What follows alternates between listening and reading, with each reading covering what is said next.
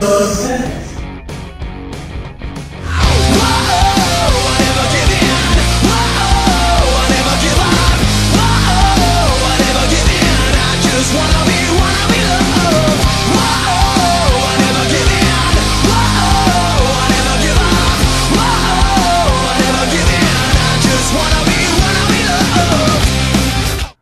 Ladies and gentlemen, welcome to NXT The Game Season 2, Episode 112. This is NXT Rage. Uh, obviously, the last event was the breaking news segment, and before that was Resistance, and before that, the last time you saw Rage Brand, which was only two episodes ago, was NXT TakeOver Rage. Let's get straight into the action tonight because it is a very Mike talks a lot uh, episode as we're setting up some other angles heading in towards because now there's no more uh, takeover specials for Rage heading into uh, NXT Takeover Legacy, which is our WrestleMania. So yeah, let's get straight into it, guys. This is gonna be a very fun show. We kind of put together a segment uh, that I think that's gonna be kind of fun. All right, uh, show. The camera picks up as Bobby Roode, which gets an uproarious reaction from the crowd as he's walking into the arena with the NXT Heavyweight Championship draped on his shoulder. Bobby Roode shakes the hands of a few maintenance workers. Out from nowhere, though, comes Nick Magnus, attacking Bobby Roode and tossing him into the rolling truck door. Bobby Roode looks up at Magnus, who's laying the wingtips of his shoes into the side of Bobby Roode's head, and doesn't stop until the officials walk up, screaming at Magnus to stop. Magnus bends over, picking up the NXT Heavyweight Championship, and looks at William Regal, who walks up, screaming at Magnus, and asks him what on earth he thinks he's doing.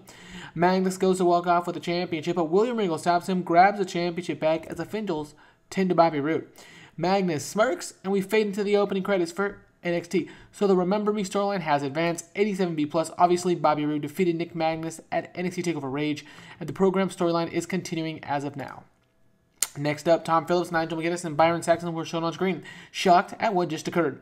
Phillips reminded the NXT audience that clearly, based on what we just saw, Bobby Roode retained against Nick Miller at Takeover Rage. However, the fans now stop listening to Tom Phillips, who stops talking as well, and begin to cheer as Bobby Roode stumbling comes out of the backstage area, where we'll where we see Commissioner William Regal is just a few steps behind him in tow as Bobby Roode heads over to the announce booth and grabs a microphone that's sitting at the desk.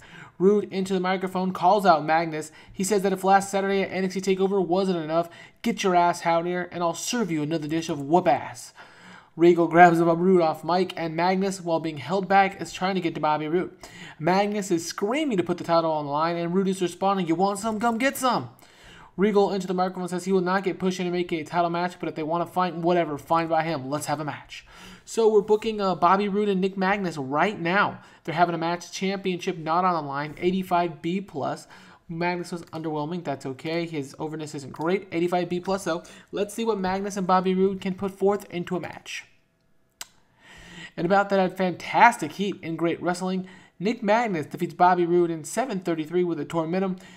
Nick Magnus pins the NXT Heavyweight Champion clean in the middle of the ring. 77 for Roode, 64 for Magnus. We've lost heat with the promo and the segment. That's okay. 66 C plus. The bell sounds and a shocking gasp is let out as Nick Magnus has just cleanly pinned Bobby Roode in the center of the ring. Magnus sitting up and smirking into the hard camera. Magnus moves to the referee and demands his arm be raised, and upon doing so begins to scream at Bobby Roode that he deserves a championship opportunity right now. William Regal, who spent the match on commentary, has shown Magnus having defeated the NXT Heavyweight Championship clean tonight. 1 2 3 has just thrown a monkey wrench into whatever plans William Regal may have had.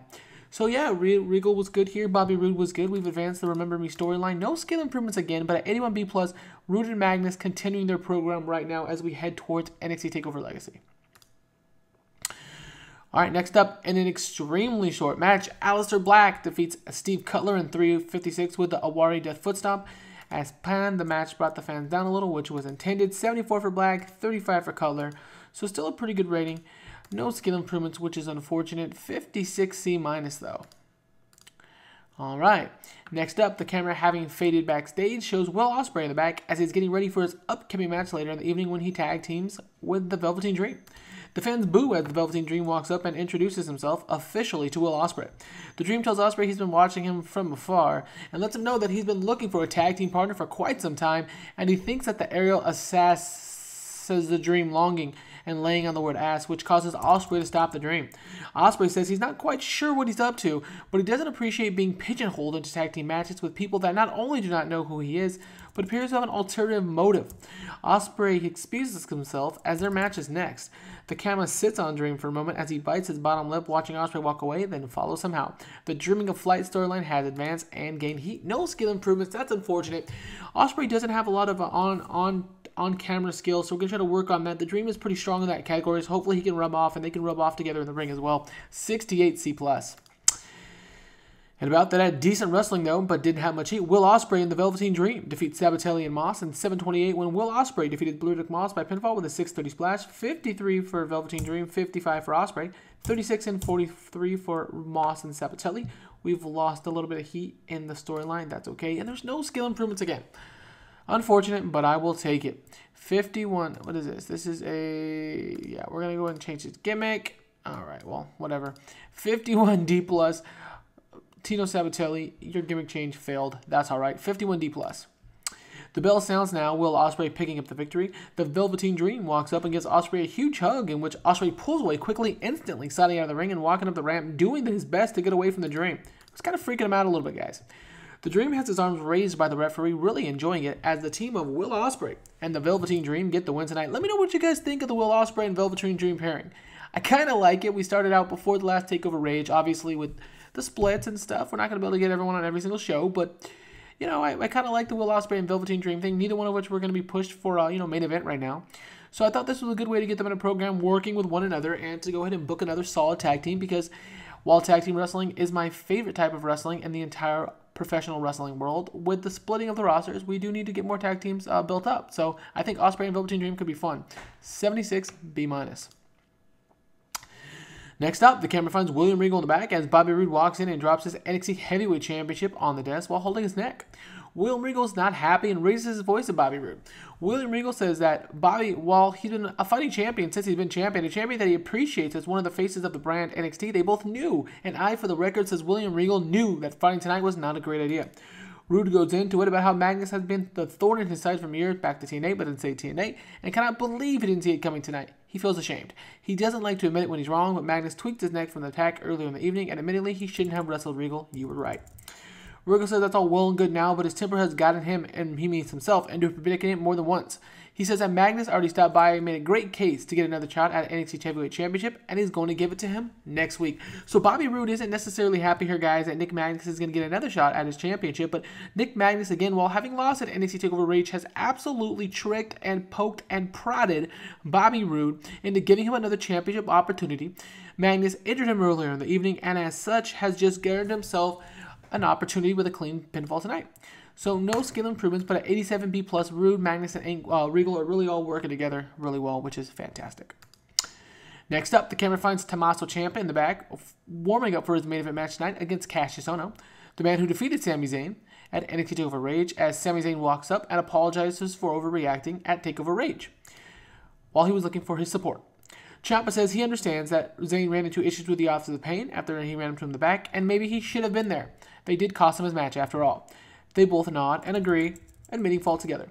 Ciampa says that it, was as it relates to the author of the pain, he has his back 100%. Zayn says that's great and a show of respect and trust tonight, noting both and agreeing that Gargano was the common thread between the two of them. He'll quarter him tonight, that is, Sami Zayn cornering Tommaso Ciampa as he takes on Kassius Ohno, again the guy Sami Zayn lost to. The two shake hands, smirk, and are on the same page for tonight.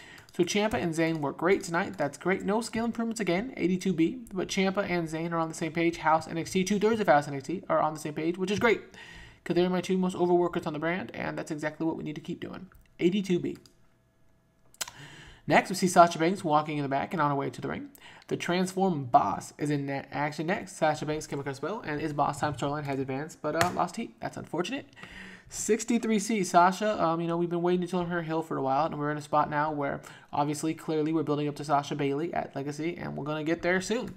So we're going to keep working that angle right now, though. 63C. Uh, and in an extremely short match, Sasha Banks defeats Santana Garrett in 505 with a bank statement.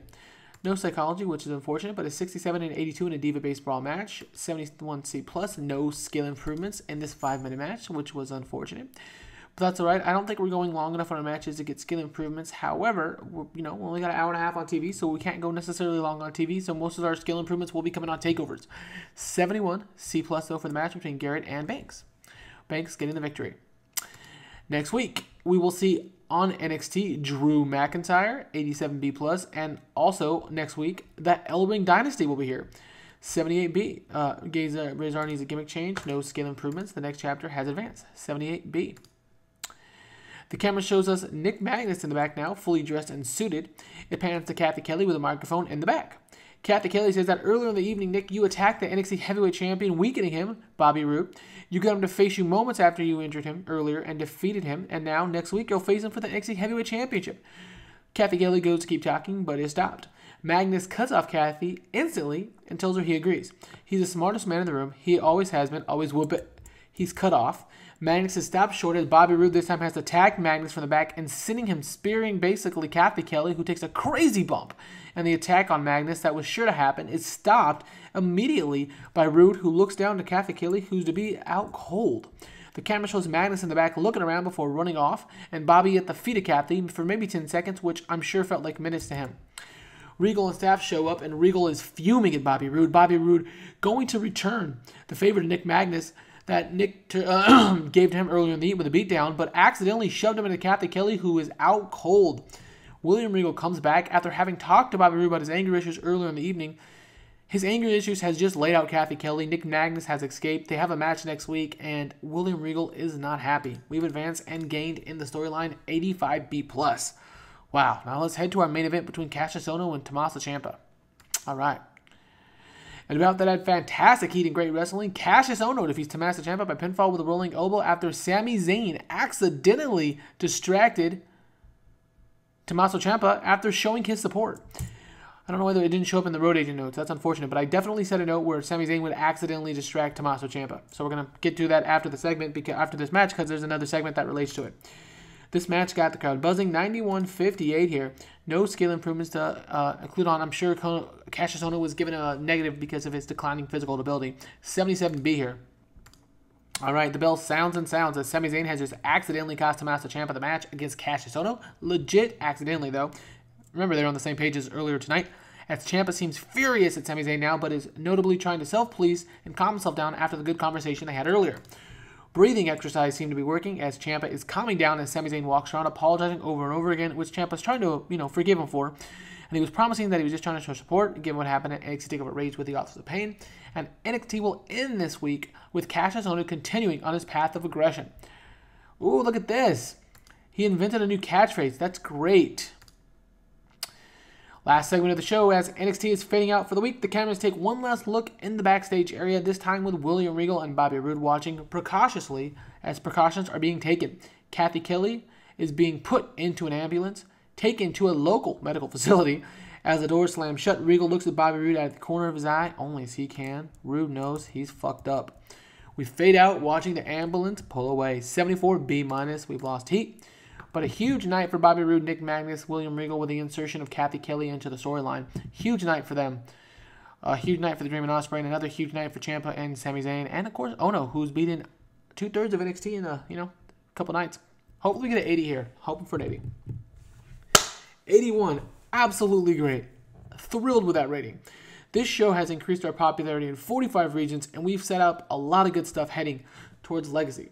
This was NXT The Game Season 2, Episode 102. Excuse me, Episode 112, NXT TakeOver Rage. Thanks for watching, everyone, and have a glorious rest of your day. I'm going to go and end the video here and push us over to January 2019. Thanks for watching.